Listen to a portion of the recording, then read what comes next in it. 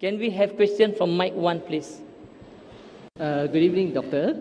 Uh, my name is Chong Nin. I'm a student uh, from IUKL. So I have two questions actually, but I'll ask the second one if the organizer permits later. So my first question is, okay, uh, just now in your talk earlier, you were talking about uh, brotherhood uni- unity. So it sounds like a potential solution for religious harmony between uh, the many major faiths in this world. So the big, the uh, biggest problem I I think about is like uh, Christianity. There are many different sects, different religious. Uh, I mean, different, uh, different uh, sections, different interpretations by preachers and humans. So, based on this human factor that tends to misinterpret a religion, uh, derivating from the main uh, text, the main content of a religion, what is your solution or your response to this uh, problem or to this biggest obstacle to brotherhood unity? The brother asked a good question that we find in some religion, and I give the example of Christianity, that people interpret the scripture differently, therefore you have different sects, etc. And that's what brings diversity. So what is the solution? Whether the solution is that you go back to the scripture, and if the interpretation differs, and by the different interpretation, if there's a contradiction, then you choose that interpretation which there's no contradiction. For example, you just heard the earlier brother when he asked that why can't a man from Ahle Kitab marry? And everyone agrees that you can marry from women from Ahle Kitab. So I gave my reasoning that if I believe that you can marry any Ahle Kitab, Mary, Sheila, so there will be a contradiction in the Quran. Because one verse of the Quran says you cannot marry a mushrika. And people who worship Jesus Christ, peace be upon him, are doing shirk. That's what the Quran says. So I come up with an answer in which there is no contradiction. So any logical person who hears both the answers will agree with my answer more or any answer in which there is no contradiction. Same with the earlier person who says, I believe Jesus is son of God. So if you believe Jesus, peace be upon him, is son of God, Adam was son of God, Ephraim is son of God, Israel is son of God. Do you give the same status as Jesus? He said no. So people say something but they don't mean it. So when there's a difference in interpretation, I say, then why do you give so much respect to Jesus and not to the other prophets? What they are saying actually begotten son. And when they say begotten, I say that word has been removed from the Bible. So when you study, when you do analytical study, analogical study, you come to the truth. As Jesus Christ, peace be upon in the Bible, seek the truth and truth shall free you, Gospel of John. So when you're doing research, you easily come to know which is the correct one. But if you follow blindly the church or a particular scholar, blindly without checking right or wrong, then you come into a problem. So that's the reason when you read a commentary of any scripture, what you have to see how logical it is and how well it is connected. And you have to take the scripture as a whole, not only one verse out of context. If you take one verse out of context and interpret it, you have to take the scripture as a whole. So when you take as a whole, and that commentary which fulfills the requirement is the correct one. So this has to be done with study, brother. And then you realize that which is the correct translation and interpretation of the scripture. Hope that answers the question. Thank you. Do you have any other question? You said you had two questions. Yes, but then if the organizer okay.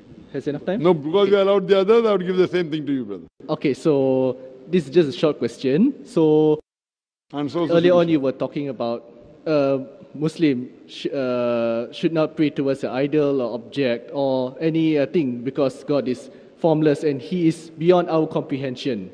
So, from my understanding, from just uh, what I've observed, it, I probably believe it's wrong, but when the Muslims perform their pilgrimage at Mecca, the direction of prayers are facing towards a stone pillar in the center. So, what is uh, isn't this contradicting to what? Very good to the statement question. Earlier? The brother asked a very good question that if Islam is against idol worship, I did not say God is formless, I said God is imageless. There's a difference between formless and imageless. If you interpret your way, there will be a big, big blunder. I said God is imageless, I never said God is formless. There's a difference between formless and imageless. Coming to your main question, that if Islam is against idol worship, when you go to pilgrimage and you bow down toward the Kaaba, isn't it same as idol worship? And this is there in my book, the most common question. It is number nine. The ninth most common question asked by non-Muslims about Islam is, if Islam is against idol worship, why do you bow down to the Kaaba when you pray? And the answer is no Muslim ever worships the Kaaba. The Kaaba is our Qibla, it's the direction. Because we Muslims believe in unity. For example, today all the Muslims want to offer salah, want to pray here. Some may say let's face north, some will say south, some will say east, some will say west. There'll be disunity. So for unity, wherever you are, you face towards the Kaaba. This is the verse of the Quran of Surah Baqarah, chapter number 2, verse number 144, which says that when you pray, face towards the Kaaba. So Kaaba is the Qibla, it is not we worship it. Furthermore, Muslims were the first people who drew the world map. And Al-Idrisi in 1154 was the first human being who drew the world map. When the Muslims drew the world map, South Pole was on top, North Pole down, Kaaba was in the center. The Western cartographers came and they turned the map upside down. North Pole top, South Pole down, yet Kaaba is in the center. So if you stay in the north, you face towards the south. If you stay in the south, you face towards the north. If you stay in the west, you face towards the east. If you stay in the east, you face towards the west. Kaaba is the center of the world. When people go for Umrah, when Muslims go for Umrah, or we go for Hajj, we circumambulate around the Kaaba. What is the reason we circumambulate? Because it's a commandment of Almighty God. But logically, what I can think that every circle has got one center. When we circumambulate around the Kaaba, we are testifying that there's only one God.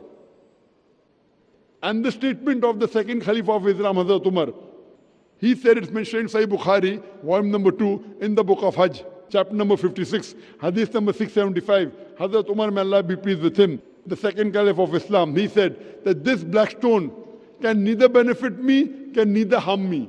I'm kissing it only because I've seen the Prophet kiss it.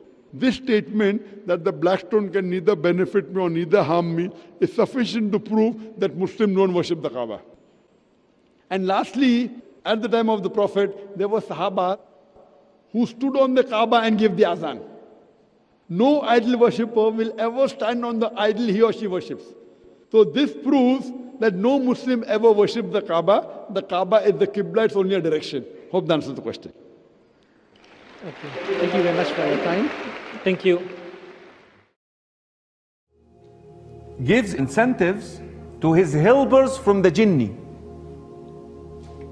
Whoever does the best job today in misguiding Muslims, I will place the crown with my own hands on your head.